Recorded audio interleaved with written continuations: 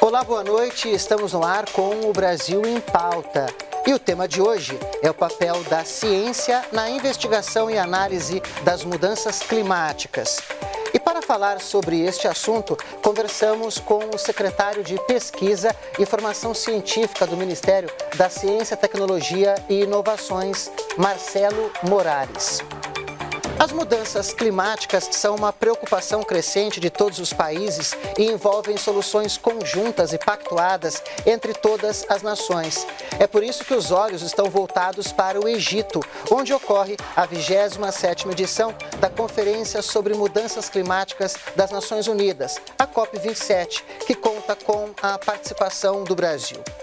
Secretário, muito obrigado pela participação aqui no Brasil em Pauta para falar de um tema tão importante para a humanidade. Obrigado, Paulo, pela oportunidade de dizer o que o Ministério da Ciência, Tecnologia e Inovações está fazendo em relação à pesquisa na área do clima e também da adaptação e mitigação desses impactos das mudanças climáticas, na conservação da biodiversidade, do investimento eh, das comunidades locais para manter esses biomas em pés, que são tão importantes para a manutenção eh, e, e, diminuição desses impactos da, das mudanças climáticas. Então é a ciência, é o foco do nosso ministério e é através dela que a gente traz à tona soluções para que a gente não tenha os impactos dessas mudanças. Uma das questões centrais da COP27 lá uh, no Egito é a questão da adaptabilidade. E o Ministério da Ciência, Tecnologia e Inovações tem a plataforma Adapta Brasil. Queria que o senhor falasse um pouquinho como é que funciona essa plataforma. Pelo que eu entendo, é um, é um sistema que reúne várias experiências de mitigação, adaptabilidade, justamente em relação às mudanças climáticas, né? Exatamente, Paulo. É, é um trabalho produzido também por cientistas, e aí eu chamo a atenção que foi, foi a ciência que alertou, foi o trabalho de cientistas mundiais que alertou uh, todo o aspecto das mudanças climáticas, é, e foram esses cientistas e os brasileiros que participaram desse painel intergovernamental de mudanças climáticas para que a gente pudesse trabalhar conjuntamente. Então, cada país está fazendo o seu trabalho importante é, de adaptar e mitigar esses impactos. Então, a plataforma Adapta Brasil MCTI é mais um trabalho da ciência brasileira que coloca aí num painel os mais de 5.500 municípios brasileiros é, com cenários é, otimistas e pessimistas de mudanças climáticas.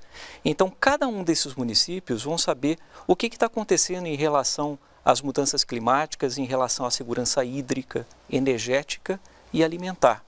Então, por que isso? A, a mudança climática pode trazer impactos importantes na água.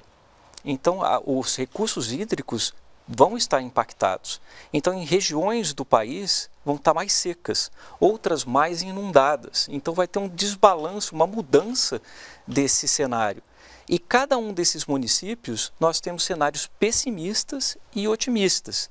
Então, os tomadores de, de, de, de decisão, que são os prefeitos e também as empresas, podem tomar decisão baseadas nesses cenários eh, prospectados pelos cientistas brasileiros. Então, a, a plataforma a Adapta Brasil MCTI, ela traz esse cenário que é tão importante não só para o governo estadual, municipal e federal, mas também para as empresas. Vamos supor que uma empresa quer colocar sua empresa ah, em algum local onde vai ter eh, grandes inundações e aí ela pode prospectar.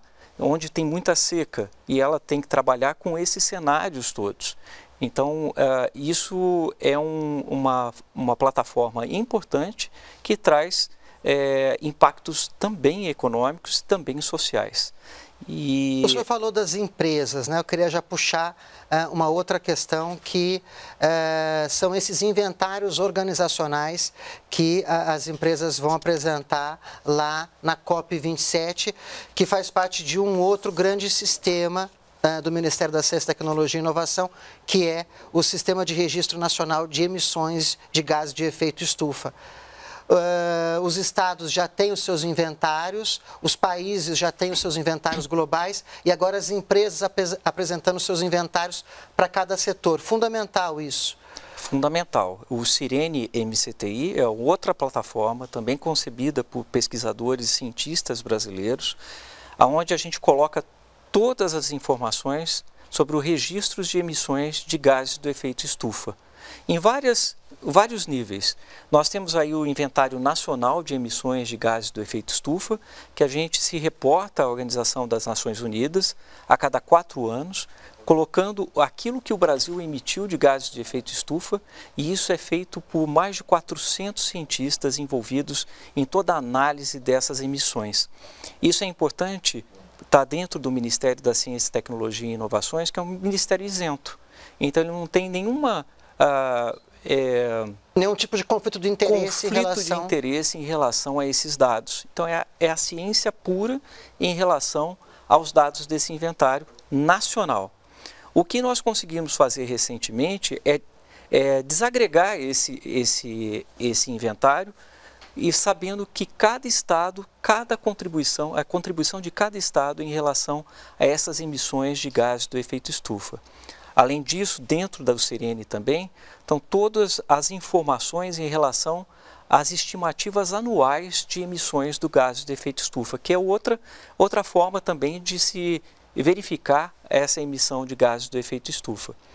E o, as organizacionais as empresas elas podem se reportar para essa plataforma o que ela está emitindo de gases de efeito estufa. Por que isso é importante? É, isso é de forma voluntária para as empresas, porque ela pode dizer quanto que ela está emitindo ou quanto que ela está sequestrando. Quer dizer, o balanço entre sequestro de carbono e emissão de, de carbono é importante para a empresa. Uma empresa que está emitindo menos e na verdade está fazendo sequestro de carbono, ela pode receber no futuro créditos de carbono. E além disso, as informações das empresas, elas fazem com que o nosso inventário nacional ele fique mais preciso. Então, é toda uma organização da ciência brasileira para contribuir para todas essas informações para que a gente possa se planejar, porque a gente tem que atingir metas. Em 2050, o Brasil se comprometeu a ter emissões zero. Né? Neutras. Né? Neutras de carbono. E a gente tem que trabalhar com todos esses cenários, com todos esses atores, estaduais, municipais, é, federais e federal e também das, das empresas, para que a gente possa fazer esse balanço e a prospecção para atingir as metas é, que a gente se comprometeu. E os inventários organizacionais vão ser apresentados agora na COP 27 lá no Egito. Nós vamos Nessa apresentar. Nessa segunda semana de COP, né? Todas essas plataformas que a gente está conversando aqui, que é a contribuição importante dos cientistas brasileiros, através do Ministério da Ciência, Tecnologia e Inovações, serão apresentadas é, na COP 27 para mostrar que o Brasil, é, com seus cientistas, há muito tempo está fazendo um trabalho importante é, de reportar essas emissões, mas também trabalhar nas adaptações e mitigações para que a gente atinja as metas com os outros países. E existe também um simulador de políticas públicas é, de mitigação dos gases de efeito estufa, alguma coisa nesse sentido. É uma terceira plataforma, elas estão se comunicando ali, estabelecendo interfaces? Então, a, o sin... que é a sinapse, né? Isso, é o, sina... o sinapse. Sinapse MCTI é uma outra plataforma onde a gente tá, tem ali é, organizado é, um simulador que contempla aí os setores da indústria, da agricultura, transporte, eletricidade. E por, por que, que essa plataforma ela é importante? Nós temos que é, atingir uma meta em 2050 em 2025, 2030. Então, se você, por exemplo, eh, você tem ali todas as, as ações que você pode é, lançar mão para atingir essas metas. Por exemplo, se... São metas de redução de, redução de, emissão de gases de, efeito atmosfera. Estufa. Isso. E se eu diminuir o desmatamento a zero, a, a, plataforma ela simula exatamente quanto que eu, quando que eu vou atingir essas metas. E se eu diminuir toda a frota brasileira para carros elétricos, por exemplo. Quando que eu vou atingir essa meta? Então você pega vários setores e você vai fazendo um balanço desses setores para que a gente possa planejar e atingir essas metas. E isso é importante para cientistas, pesquisadores, governos municipais, estaduais, sociedade civil, ou seja, porque essas plataformas são públicas, estão ali no site do, do MCTI também, né? Exatamente. É, é um assim... manancial de informações. Isso. E a, a ciência tem que ser assim. A ciência, eu, eu, a, eu, eu trabalho com, com essa hipótese que a ciência e os dados científicos têm que estar sempre disponíveis para o benefício da população e abertos. Então a gente trabalha com dados abertos e essas plataformas têm é, um potencial importante para subsidiar a tomada de decisão e também não só do setor uh, governamental, dos vários níveis, mas também da, do setor empresarial. Então, Secretário, a gente vai para um rápido intervalo, mas eu queria deixar uma pergunta já para o senhor retomar no segundo bloco, que é como que o Ministério da Ciência, Tecnologia e Inovações está apoiando projetos de desenvolvimento sustentável na Amazônia, que também, obviamente, tem a ver com a COP27. Mas o senhor responde daqui a pouco. Vamos para um rápido intervalo e voltamos em instantes. O entrevistado dessa edição do Brasil em Pauta é o secretário de Pesquisa e Formação Científica do MCTI, Marcelo Morales. Voltamos já já.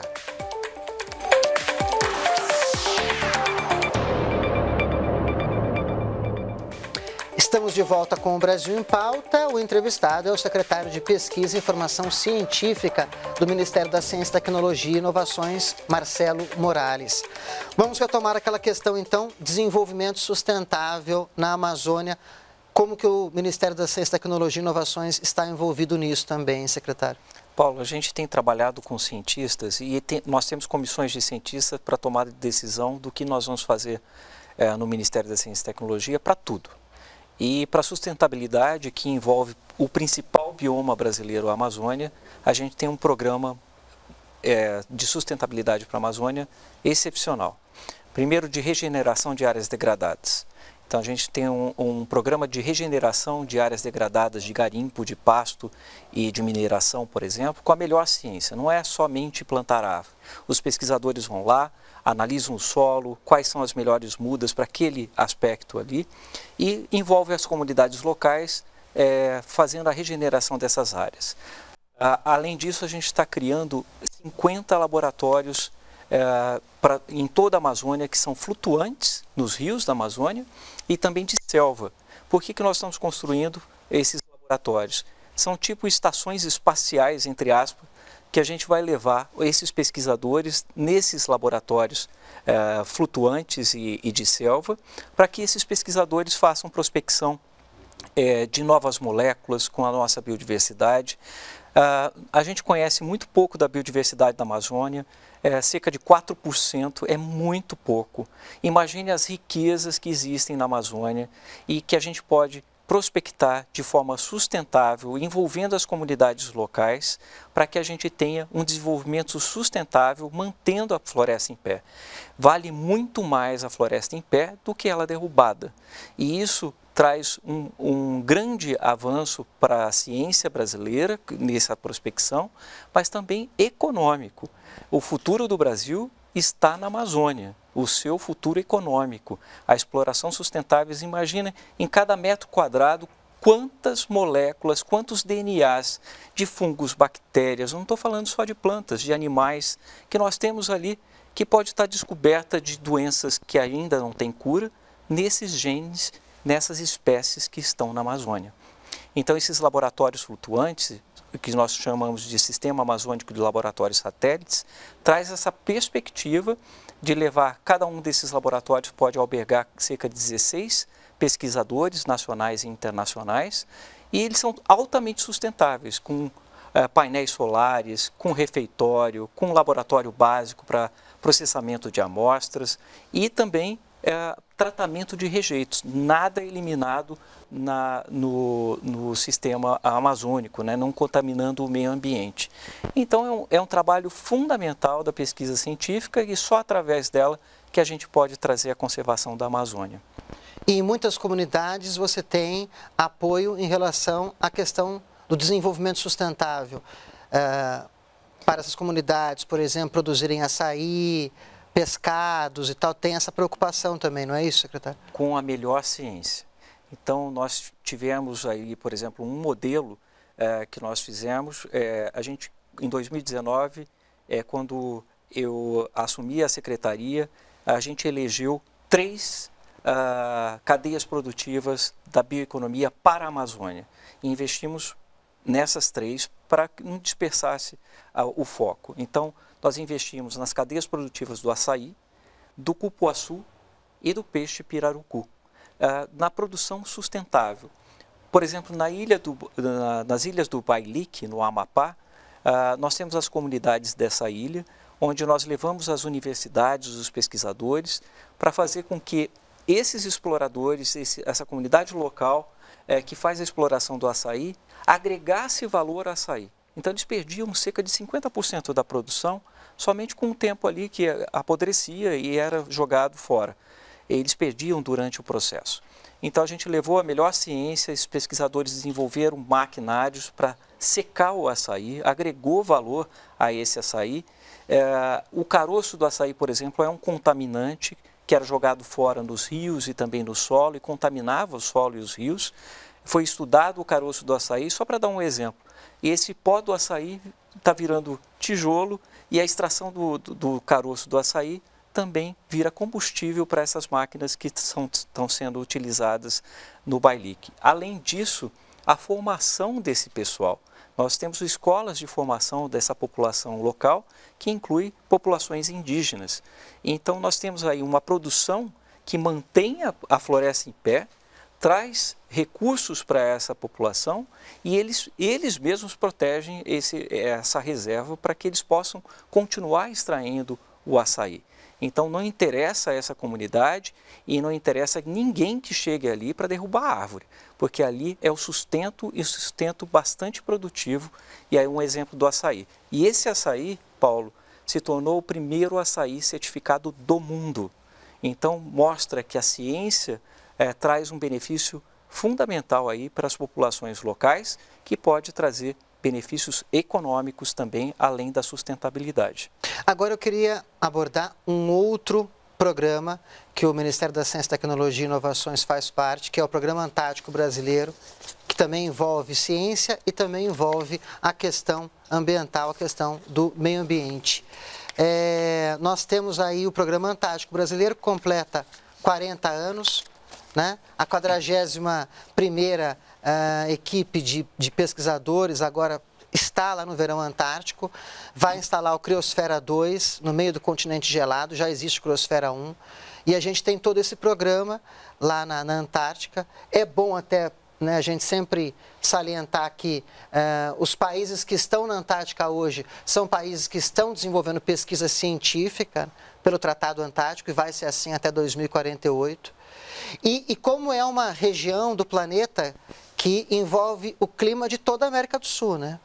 Então, eu queria que o senhor falasse um pouquinho do Programa Antártico Brasileiro, que também é um case de sucesso que pode ser apresentado, vai ser apresentado lá na COP27, e como que está essa questão uh, dessa ampliação do ProAntar com o Criosfera 2. A Antártida, uh, Paulo, tem um, um papel fundamental é, na modulação do clima do planeta. E ela tem o, o, continente antártico, o continente gelado, ele tem interferência direta é, na, na, meteorologia, no clima do, do, Brasil. E isso você já pode pensar em mudanças desse status do clima é, que é, pode ser previsto a partir da, da Antártica. Então essas mudanças podem atingir o Brasil e aí pode ter desastres com alagamentos, mudanças de chuvas, de, é, você pode ter secas, e isso pode ser previsto a partir da Antártica.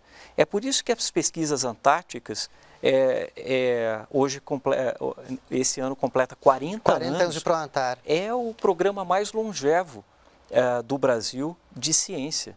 Ele foi ininterrupto durante 40 anos. Primeiro porque traz a soberania do Brasil, é que só os países que fazem pesquisa de ponta é, que podem estar na Antártica, é, e nós temos uma estação belíssima na Antártica, a Comandante Ferraz, e aí eu faço jus à Marinha do Brasil, que tem um papel fundamental, porque nós fazemos a seleção dos projetos de pesquisa através do CNPq, todos os anos. E levamos, junto com a Marinha do Brasil, esses pesquisadores até a Antártica. Então, a partir do momento que eles saem daqui do Rio de Janeiro, já começa a pesquisa, a coleta de amostras durante todo o trajeto uh, até a Antártica, até chegar à Antártica. E na Antártica nós temos a estação Comandante Ferraz, onde a gente faz a exploração aí de moléculas de fungos, é, de, da biodiversidade da Antártica, uh, do Estudos mar Antártico. importantíssimos sobre o buraco na camada de ozônio foram desenvolvidos camada ali no de ozônio. A gente tem aqueles, uh, aquelas amostras profundas do gelo antártico, que a gente sabe o que, que aconteceu na atmosfera durante milhões Deposição de anos. Deposição de camadas de carbono. Exatamente.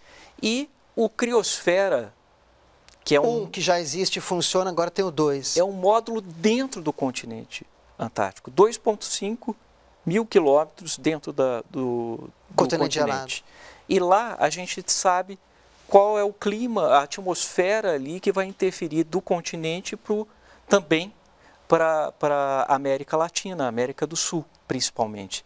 E aí a gente pode prever aí impactos na agricultura, impactos de desastres é, meteorológicos, aí, enchentes, e a gente pode fazer essa previsão, fazendo com que a gente se adapte durante as mudanças climáticas, né, prevendo essas mudanças climáticas, e a gente mitigue esses impactos. Então, o trabalho dos cientistas em várias áreas do conhecimento é fundamental. Um país que não investe em ciência e tecnologia, ele não, não consegue é, se desenvolver e ter um protagonismo internacional. Hoje, quem detém o conhecimento é que tem protagonismo. Então, as pesquisas antárticas também têm contribuição importante, está linkado com as mudanças climáticas, nesse monitoramento das mudanças climáticas. E, e também a gente tem essa questão da rede vírus, que o Ministério da Ciência, Tecnologia e Inovações desenvolveu por conta da pandemia da, da, da Covid-19 aqui no Brasil. Muitos intelectuais, muitos estudiosos, cientistas eh, levantam eh, eh, suspeitas de que a Covid-19 pode ser até um resultado dessa questão da, das mudanças climáticas, da, né, dessa relação do homem com o planeta. E a ciência acaba também estabelecendo uma interface, fica ali entre né, essa, essa relação do homem com o planeta e desenvolve vacinas, por exemplo, que são fundamentais e foram fundamentais para o enfrentamento da Covid-19. Então, eu queria que o senhor falasse um pouco também dessa questão da, da rede vírus uh, e esse legado que fica para o Brasil para as próximas gerações. As viroses emergentes, como a Covid-19, e reemergentes, por exemplo, a zika, dengue, é, elas podem, podem reemergir e outras que podem aparecer que a gente não conhece, né, que podem ser letais, está muito intimamente relacionada uh, às mudanças climáticas. Então, uh, quando a gente adentra a floresta, a gente vai se expondo e trazendo vírus que a gente não conhecia, que pode ser emergente ou reemergente. Uh, a Covid-19 trouxe um papel um ponto importante aí no desenvolvimento científico e tecnológico do Brasil. Em fevereiro de 2020, é, com a aproximação da possível pandemia, que ela só foi anunciada em março, nós criamos no MCTI um, um grupo de cientistas uh, que nós chamamos de Rede Vírus MCTI, uh, especialistas em viroses emergentes e reemergentes, para traçar a estratégia do Ministério em relação à ciência para o enfrentamento de uma possível pandemia. Eles criaram subredes estrategicamente, por exemplo, de monitoramento de animais no meio silvestre, de pássaros e morcegos. O sequenciamento do vírus em todo o território nacional, com as possíveis mutações, trazendo aí, através do sequenciamento, identificando mutações desse vírus. Ah, uma estratégia de vacinas o Brasil nunca produziu uma vacina na sua história do começo ao fim por pesquisadores brasileiros, em, em, por instituições brasileiras. Nós tínhamos que criar uma estratégia de incorporar as novas tecnologias de vacinas para que a gente pudesse produzir vacinas não só contra o SARS-CoV-2, mas também contra dengue, chikungunya, zika, febre amarela. E essa foi a estratégia do Ministério, através da Rede Vírus, MCTI. Desenvolvimento de testes diagnósticos nós desenvolvemos te testes diagnósticos rápidos, sorológicos, com inteligência artificial. Enfim, foi uma estratégia muito bem elaborada e nós conseguimos, com essa estratégia elaborada lá em fevereiro, conseguimos aportar um bilhão de reais para essa estratégia. Qual a consequência disso? Nós temos monitoramento perene até hoje em todo o território nacional dos animais silvestres. Nós temos o monitoramento do vírus em todo o território nacional e suas mutações.